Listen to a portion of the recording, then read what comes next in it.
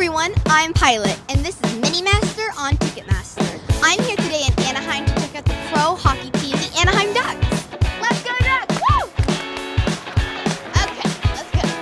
Come on. I'm here with Captain Ryan Getzlaf.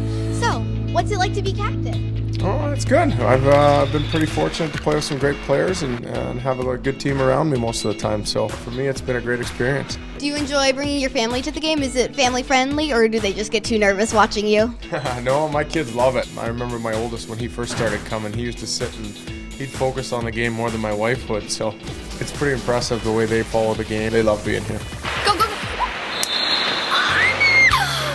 Why do you sharpen skates? What is the purpose of that?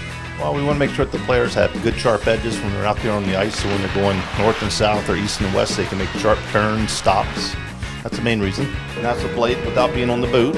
And I sharpen this up, and we have like three sets for each guy. So during the game, if a guy loses an edge, we can go take him right out of the skate, pop a new set in that's already sharpened and ready to go, and we bring them in here and sharpen them back up.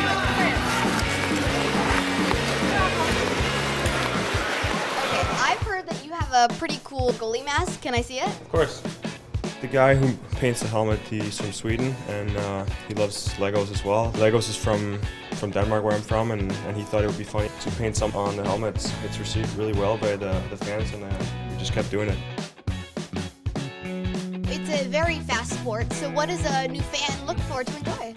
I think the grace and speed of the players on ice is pretty miraculous when you think that they can go 30 miles an hour and turn on a dime and stop on a dime and they can shoot the puck 100 miles an hour plus and goalies are just seeing it and catching it. I mean, the skill of these athletes is tremendous. The new fans should just sit back and enjoy the game and as it goes along you can you know learn the odd rule here and there and eventually you'll become a regular hockey fan Oh, that was so cold!